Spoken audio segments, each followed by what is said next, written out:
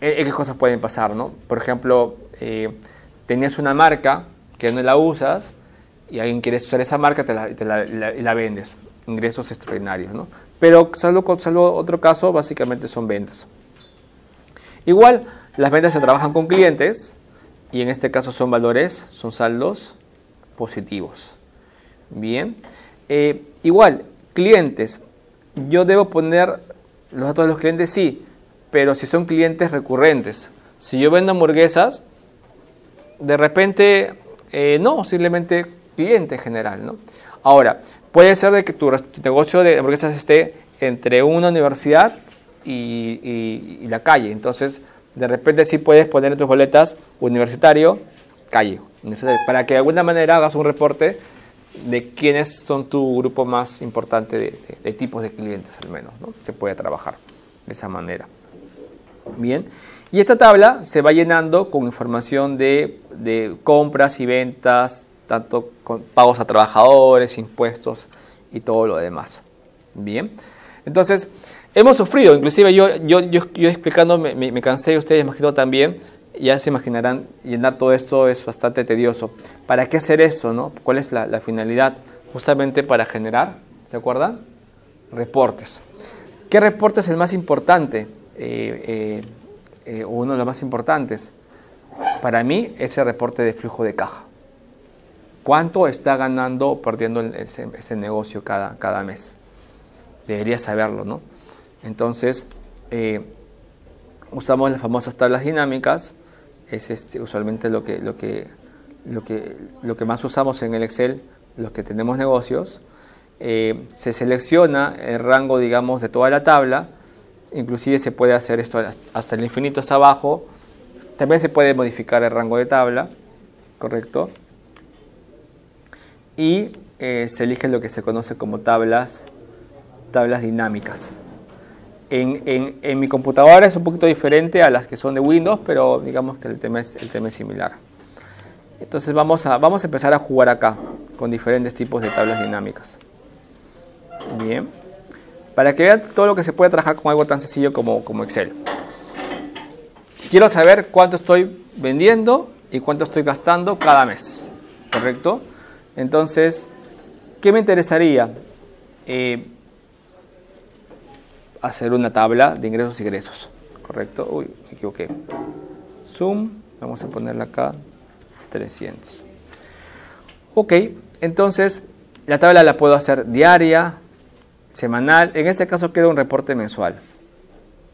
Elijo mes y lo pongo en la sección de columnas. ¿Correcto? Tengo simplemente tres meses. No, he hecho muchas, muchas operaciones. Eh, y aquí pongo vacías, por ejemplo, ¿no? Algunas pequeñas correcciones.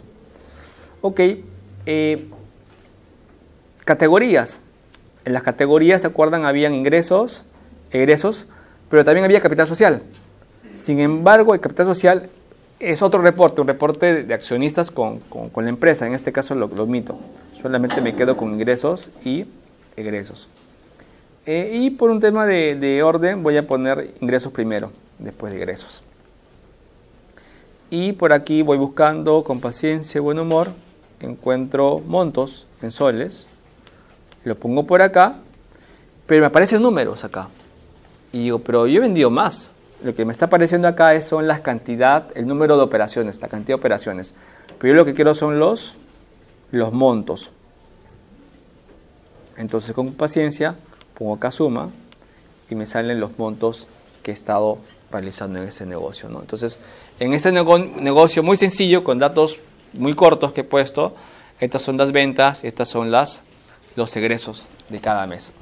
Ahora, está un poquito misio porque ingresos, pero ingresos de qué? ¿Qué he vendido? Este, he vendido más aretes, eh, collares. Entonces, me acuerdo que tenía en la categoría cuenta y la categoría su cuenta. Entonces las voy poniendo por acá y ya la cosa se pone más, más simpática. ¿no? Entonces tengo un flujo de caja eh, de mi negocio de manera mucho más automática. Y simplemente que pues, cuando pongo más datos, acá pongo actualizar y hago que la tabla tenga un rango mucho mayor. y tengo un primer reporte sencillo de flujo de caja. ¿Ok? ¿Preguntas acá? ¿Consultas? Una pregunta. Por ejemplo, digamos, ¿no? esto de acá sirve para saber cuánto más o menos mensualmente tengo de, de ganancias de utilidades. Ujú. ¿no? Si, por ejemplo, si yo vendo autos, tengo que, digamos, con dos autos que, que vendo mensualmente, tengo para cubrir mis gastos Ujú. de personal y, y tener ganancias mensualmente. Ya sé que dos, dos autos tengo que vender mensualmente. Ahora, ¿qué pasa si es en una tienda de abarrotes? Son un montón de insumos que hay. Ahí tendría que saber de cada producto por unidad. Ya. tengo que. Es- esa es una muy buena pregunta. Eh, no es en esta clase, sino de acá dos más, que vamos a tocar el tema de análisis de costos. Simplemente te, te hago la introducción y lo vamos a ver en esa clase. Análisis de costo me dice, si es que vendo un producto, ¿cuántos productos tengo que vender al mes? ¿Cuántos autos tengo que vender al mes? Para no ganar ni perder. Se le conoce como punto de equilibrio. Y a partir de esa cantidad, ver cuánto voy ganando. ¿Correcto? Entonces, cuando vendo un solo producto, mi, mi, variable de control es la cantidad de, ese producto. En este caso, el número de autos. Cuando tienes una tienda de abarrotes, y la cosa se complica porque tienes diferentes variables. Entonces, el punto de equilibrio se determina en base a la cantidad de ventas. Por ejemplo, tú dices, se hace una tabla en Excel y se pone, voy a asumir que voy a vender 10 mil soles. Luego, con información de tus otros competidores, evalúas qué porcentaje se vende en repuestos para celulares, 50%. 25% en celulares y 25% en otras cosas más. Se hace una tabla y, y obviamente esos, esas ventas jalan gastos, porque justamente mercadería y también otros gastos fijos adicionales.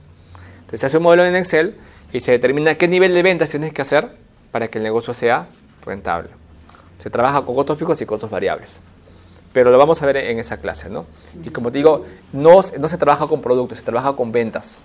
Sí, porque no podrías. Matemáticamente tendrías demasiadas variables. Es una ecuación que no la podrías manejar. O sea, es, es un tema matemático, se tiene que trabajar con el nivel de ventas. Y porcentajes de, de- de cuánto vendes por cada producto. Es un poquito diferente. Por ejemplo, si tengo una tienda de abarrotes y quiero introducir, solo pondría precio, una cantidad. Cantidad, este no, cantidad no, precio de venta, volumen de venta, 50 mil soles. Y de ahí qué porcentaje se, se vende para cada rubro. 10%, 5%, 8%. Es- Este tipo de análisis de acá, que es el sistema de gestión, no ve, no ve punto de equilibrio. Esto es lo que básicamente es lo que, lo que te está pasando en el negocio en el futuro. En este caso, lo que, lo que se está viendo acá es de que al menos tus ingresos son mayores a tus egresos. Justamente, eh, obviamente no, no pasa siempre eso, pero en este ejemplo sí.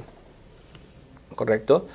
Eh, y bueno, eh, ¿qué más se puede hacer? Eh, yo acá tengo, si ustedes entran al, al- al- Excel, van a encontrar reportes de flujo de caja, reportes de ventas por, por- por ubicación de clientes, bueno, reportes de... Está un poquito pequeño. Vamos a poner acá. Esta es la tabla que hice. Acá lo puedo cambiar, ¿no? Por ejemplo, saco otra vez todo y de repente Edwin, quiero saber eh, cuánto compra cada cliente y qué compra cada cliente. Ok, entonces, digamos, vamos a poner acá eh, cliente, ¿dónde está? Está en, está por aquí.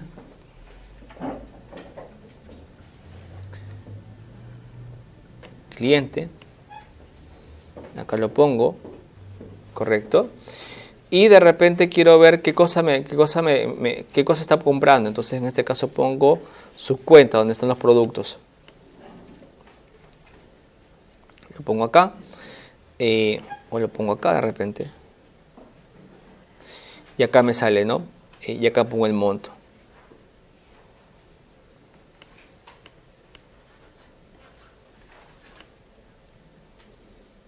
Hago la corrección como les dije.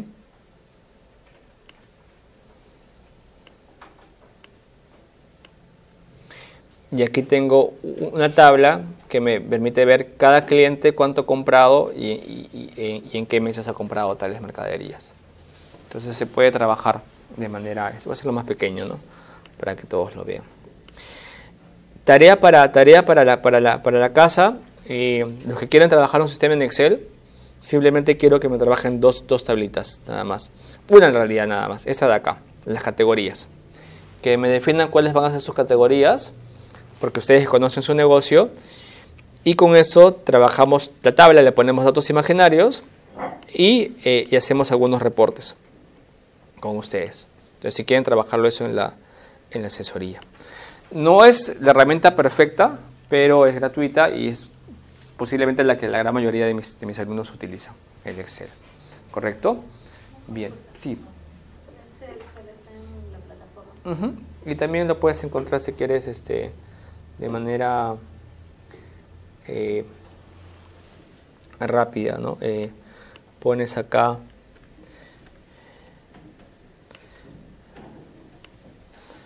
pones acá está en la plataforma pero puedes poner internet virtual gestión y acá está la plantilla de gestión. Sí es eh, voy a ponerlo acá en la pizarra